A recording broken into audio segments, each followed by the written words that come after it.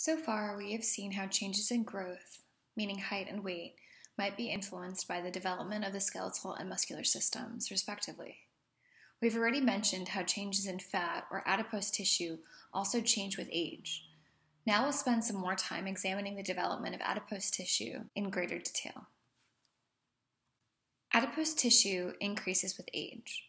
Like muscle, adipose cells develop as a function of hyperplasia and hypertrophy. Hyperplasia continues from prenatal development through the first six months of postnatal development and again during puberty. Once additional cells are created, those cells remain across development. What I mean by this is that even in cases of severe malnutrition, there is not a loss of adipose cells. Hypertrophy increases the size of adipose cells, but this is not significant until puberty. At birth, adipose accounts for only about a half a kilogram of body weight. There is a large increase in body fat during the first six months of postnatal development, with a peak in the adipose development during the first month. For both males and females, there is a gradual increase in adipose tissue until age 8. During childhood, the amount of internal or visceral fat increases faster than the amount of subcutaneous fat or the fat just below the skin. This is important because visceral fat is thought to be more dangerous because it surrounds the vital organs and is considered to be a greater risk factor for metabolic disease. Subcutaneous fat increases between the ages of 7 to 12 or about 13. Sex differences in adipose tissue become more obvious around puberty. From the ages of 8 to 18, females increase adipose faster than males. The rate of increase is similar for the trunk and the extremities in females. Males show a pre adolescent increase in adipose in the arms and to a lesser extent in the trunk. However, males show a large decrease in adipose in the arms during puberty, which is evident in this graph from ages 11.5 to 18 years. Overall, females have about 14 kilograms of adipose compared with 10 kilograms in males. Adipose tissue continues to increase across adulthood. This is likely due to poor diet and a lack of exercise. Between the ages of 20 to 50, females gain about 11.8 kilograms of adipose, while males gain 8.2 kilograms of adipose. Although the total body weight declines after age 50, body fat continues to increase. Recall that the main cause for age related weight loss is due to a loss of muscle mass and bone mass. Importantly, although subcutaneous fat in the limbs tends to decrease in aging, the amount of visceral or internal fat in the abdomen increases. And as we've mentioned in a previous slide, visceral fat is a risk factor for cardiometabolic disease. We need to keep in mind that data regarding the rates and amounts of adipose tissue during aging could be skewed because those with increased fat have higher mortality rates. Therefore, those individuals' data cannot be counted in the statistics for older adults. In addition to greater mortality rates, increased body fat affects movement by increasing the inertia of body segments, increasing joint pain or joint problems, and increasing social anxiety when participating in physical activity. Therefore, those that have increased body fat will have more difficult time using exercise or physical activity to help reduce fat mass in particular. Thus, the combination of diet and exercise can help to reduce the amount of fat mass or reduce the rate of fat mass gain during adulthood. So far, we have discussed the systems that contribute to the growth patterns in height and weight, namely the skeletal, muscular, and adipose systems. Now let's examine the endocrine system, which is one of two systems that controls the growth and maturation of all body systems that we have discussed so far. The endocrine system regulates other systems through hormones. Hormones are chemical messengers that are produced by glands and transported through the circulatory system to target organs.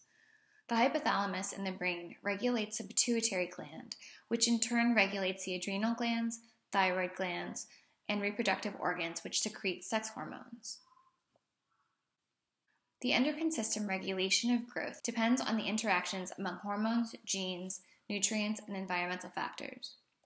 During development, an excess or deficiency of hormones may affect normal growth and development.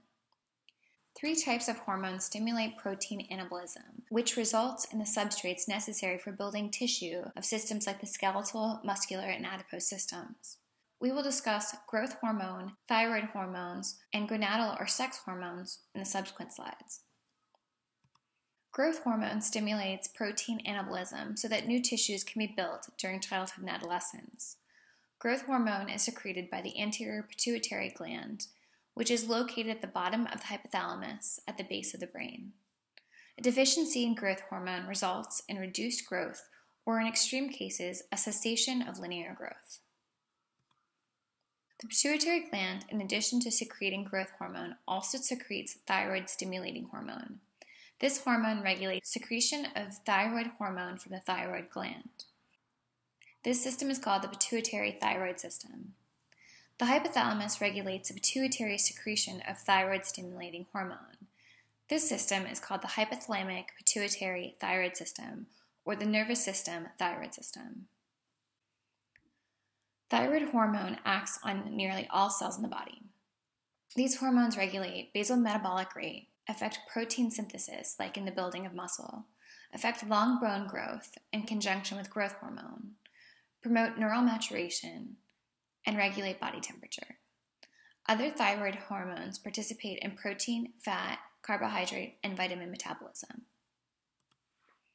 Gonadal hormones affect growth and sexual maturation. They stimulate the development of secondary sex characteristics and the reproductive system.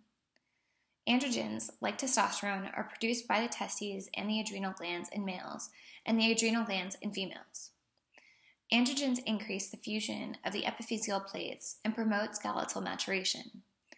This maturation comes at the cost of linear growth, such that early maturers tend to be shorter than later maturers.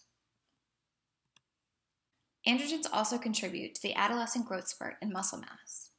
The greater muscle mass accrued by males during adolescence is due to the fact that in males, androgens are secreted by both the testes and adrenal glands, while in females, androgens are only secreted by the adrenal glands. In females, estrogen secretion from the ovaries and the adrenal glands results in the epiphyseal closure and increased fat accumulation, particularly in the breasts and hips. Although both males and females have both sex hormones, the relative proportion of androgens and estrogens defines the major characteristics of each sex. So far, all of the hormones we have discussed have had a direct impact on growth and maturation. Insulin, on the other hand, has an indirect role in growth. Insulin is produced by the pancreas. Insulin is critical for carbohydrate metabolism and stimulates the transport of glucose and amino acids through membranes.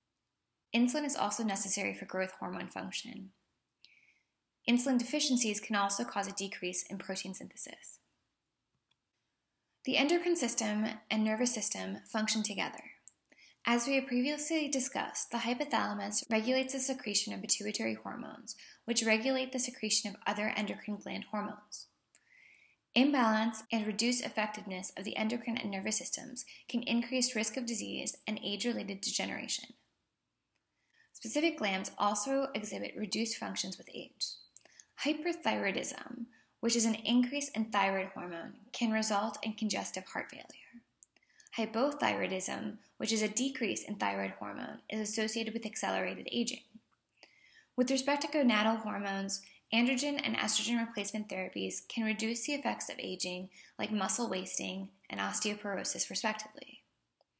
Lastly, the incidence of insulin deficiencies like type 2 diabetes also increases with age. This results in greater glycogen storage and reduced glucose metabolism during exercise. In this last section, we will discuss the development of the nervous system, which is a second control system important for normal growth and development. As we saw in Chapter 4, the development of the nervous system begins early during prenatal development. By week 3 of embryonic development, the nervous system has started to differentiate from somatic tissue.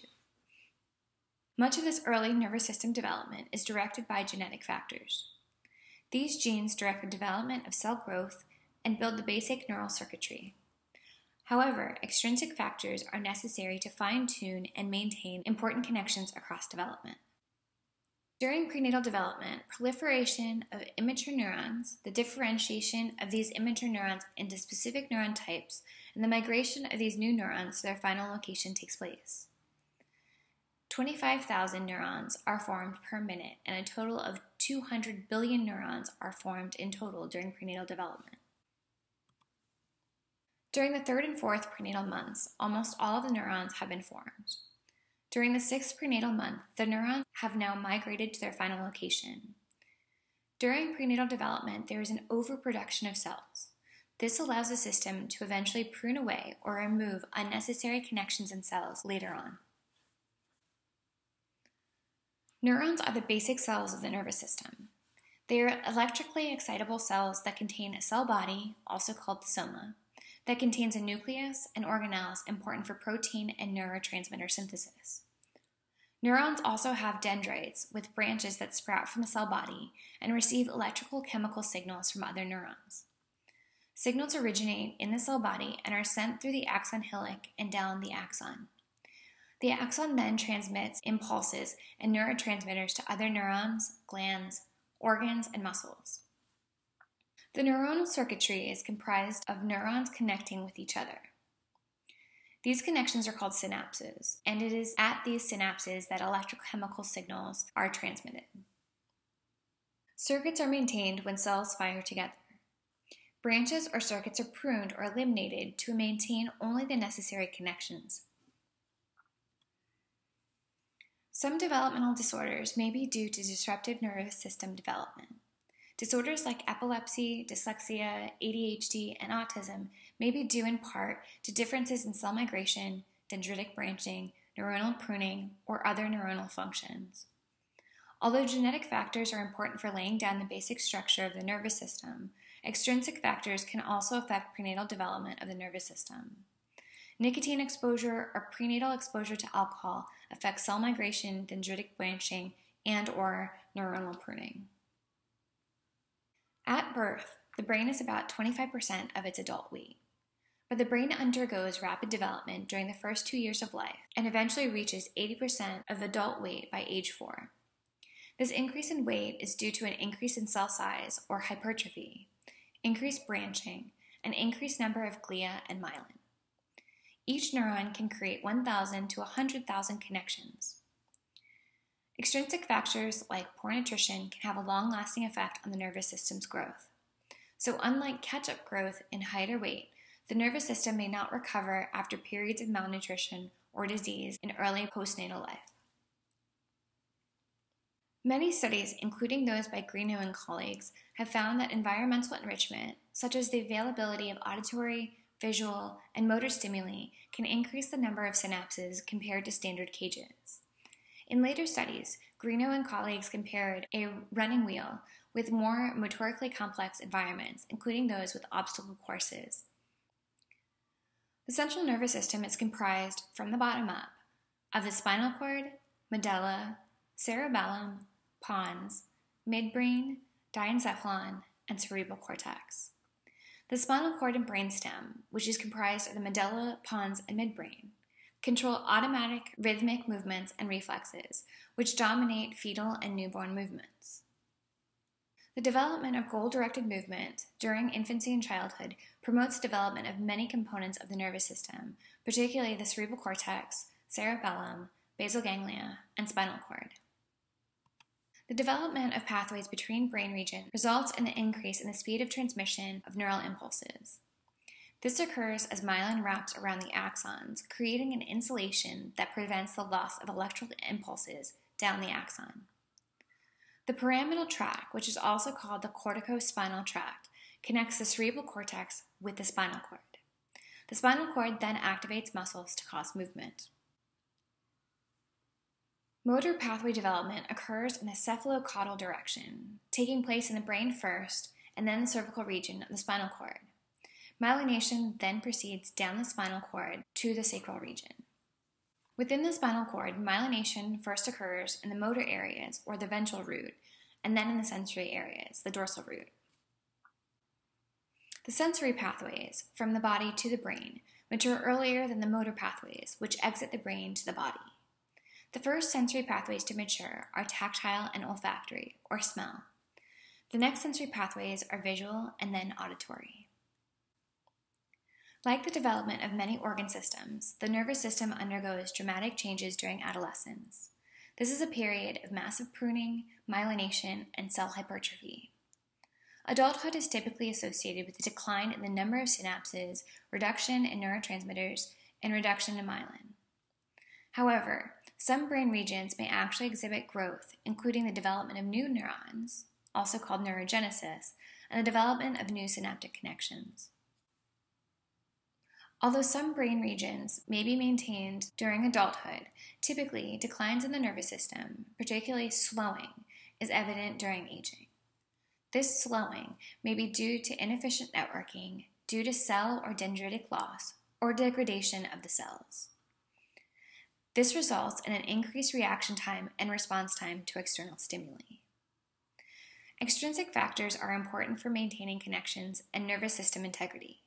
For example, exercise can increase the blood supply, dendritic branching, and glucose metabolism in the brain. Exercise can also stimulate neurogenesis. Perhaps as a result of the changes in the brain, exercise has been associated with improved cognition and the maintenance of cognitive abilities in aging. Okay, let's recap what we've discussed so far in this chapter.